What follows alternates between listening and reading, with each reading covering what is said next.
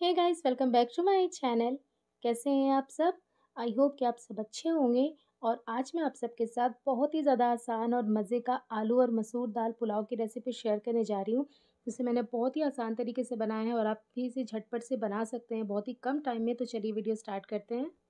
तो यहाँ पर ये देखिए, मैंने जो खड़ा मसूर होता है ना, काला वाला मसूर भी इसे कहते हैं, इसे मैंने भिगो कर रख दिया इसे भिगोए हुए मुझे चालीस से पैंतालीस मिनट हो गया है। देख सकते हैं आप, ये थोड़ा थोड़ा फूल भी गया है। जब तक हम बाकी का प्रोसेस करेंगे ना दस पंद्रह मिनट के लिए और भीग जाएगा मतलब हमें टोटल इसे एक घंटे के लिए फुलाना है। जिससे कि जब हम इसे कुक करें ना तो ये अच्छे से कुक हो जाए, क्योंकि हम इसे प्रेशर कुक नहीं करेंगे। और अब हम यहाँ पर चावल को फुला लेते हैं। चालीस पैंतालीस मिनट बाद आप चावल को फुलाएँ। तो यहाँ पर मैंने ये देखिए, डेढ़ कप चावल ले लिया है कप से। और इसी कप से मैंने आधा कप लिया था दाल।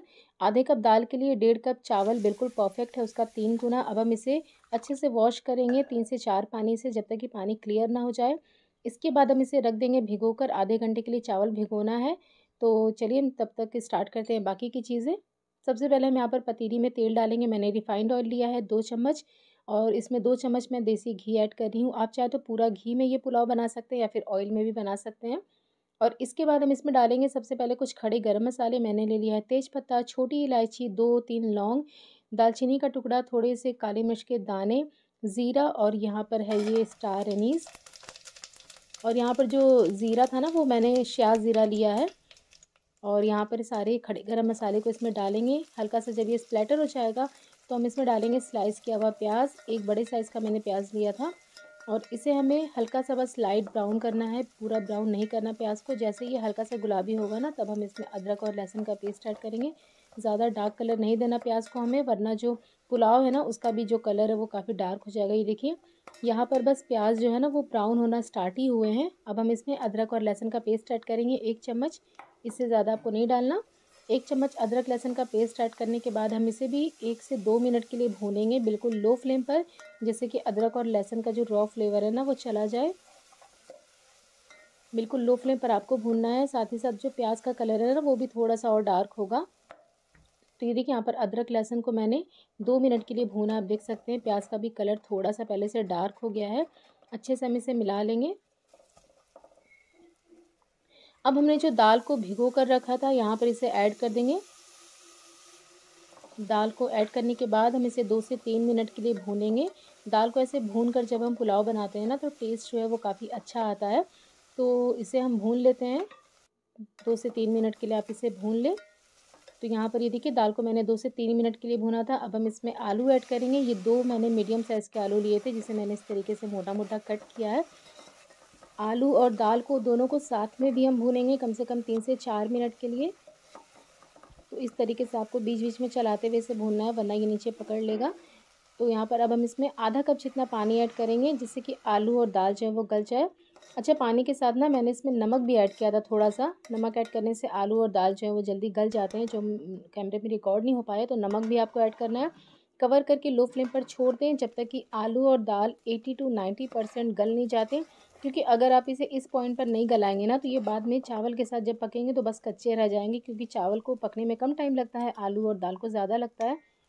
तो इस स्टेज पे पानी ऐड करके आपको गलाना है। ये देखिए, यहाँ पर जो आलू है ना, वो नाइन्टी परसेंट कुक हो गया है, दाल भी गल गए हैं। बाकी का जो बचा है, वो चावल के साथ पकेगा। तो इसमें दो तीन मसाले ऐड करेंगे। सबसे पहले ऐड करेंगे ज़ीरा पाउडर एक छोटा चम्मच। लाल मिर्च पाउडर ऐड करेंगे, आधा छोटा चम्मच, आप कम ज़्यादा कर सकते हैं, तीखा अपने टेस्ट के हिसाब से। इसके बाद हम इसमें ऐड करेंगे टमाटर, ये एक मीडियम साइज़ का टमाटर मैंने लिया और इसे देखिए मोटा मोटा कट किया है और तीन से चार हरी मिर्च ले लेंगे, हरी मिर्च को मैंने बीस से स्लिट कर लिया है और टमाटर इस तरीके से मोटा मोटा कट करके डालने से ना ये ज़्यादा गलते नहीं हैं और इनसे लुक भी अच्छा आता है बाद में और ये अच्छे लगते हैं खड़े खड़े दिखते हैं तो। सारी चीज़ों को बस हम दो मिनट के लिए पकाएँगे मिक्स करके, अब इसमें चावल ऐड कर देंगे भीगे हुए। चावल ऐड करने के बाद आप इसे हल्के हाथों से मिक्स कर लें। गैस का जो फ्लेम है, आपको इस टाइम पे लो पर रखना है। लो फ्लेम पर आप इसे पकाएँ। हल्के हल्के हाथों से बस ऐसे ही आप चावल को मिक्स कर लें और इसमें आप पानी ऐड करना है आपको। तो डेढ़ कप चावल के लिए हम तीन कप पानी लेंगे। मतलब जितना भी आपने चावल लिया था ना, उससे डबल आपको पानी लेना है। तो डेढ़ कप चावल के लिए यहाँ पर मैंने तीन कप पानी इसमें ऐड कर दिया। अब इसमें हम नमक ऐड करेंगे। पहले हमने नमक ऐड किया था आलू और दाल को गलाने के लिए। अब यहाँ पर चावल के लिए ऐड करेंगे। आप इस टाइम पे ना नमक डाल के मिला के इसे हल्का सा इसका पानी टेस्ट कर सकते हैं। अगर कम लगे नमक तो आप इसी स्टेज पे डाल सकते हैं। और आधा छोटा चम्मच मैंने ऐड किया है गरम मसाला पाउडर बस इसे हल्के हाथों से मिक्स करेंगे हम। और इस स्टेज पे आप चाहे तो पानी चेक कर सकते हैं, नमक कम ज़्यादा। अब इसे कवर करके, आधा कवर करके हम हाई फ्लेम पर पकाएँगे जब तक इसमें बॉयल नहीं आ जाता। यहाँ पर ये देखिए इसमें उबाल आ गया है तो अब हम ढक्कन हटा देंगे। और ढक्कन हटाकर आपको हाई फ्लेम पर इसे पकाना है। जब तक कि पानी ऊपर से ड्राई नहीं हो जाता तो आप इसे हाई फ्लेम पर इसी तरीके से छोड़ दें। बिना कवर किए आपको पकाना है इसे हाई फ्लेम पर। तो ये देखिए हाई फ्लेम पर मैंने इसे पकाया है।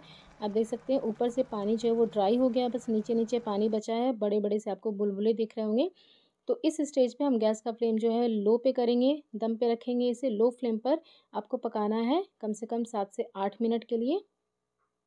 तो ये देखिए सात से आठ मिनट के लिए मैंने इसे लो फ्लेम पर पकाया है। दम पर ये अच्छे से कुक हो गया है। चावल जो है वो अच्छे से बिल्कुल गल चुके हैं यहाँ पर। ये देखिए एक एक दाना बिल्कुल अलग अलग है। तो बस चलिए अब हम इसे सर्व कर लेते हैं। इसका मज़ा जो है ना वो गरम गरम में ही आता है। आप इसे चटनी रायता सलाद के साथ या फिर अचार के साथ भी सर्व कर सकते हैं। ये बहुत ही ज़्यादा मज़े का लगता है। तो आप भी इसे एक बार ज़रूर ट्राई करिएगा इस आसान सी रेसिपी को। अगर आपको पसंद आई हो तो वीडियो को लाइक और शेयर करना ना भूलें। मिलते हैं नेक्स्ट रेसिपी के साथ। Till then bye bye take care.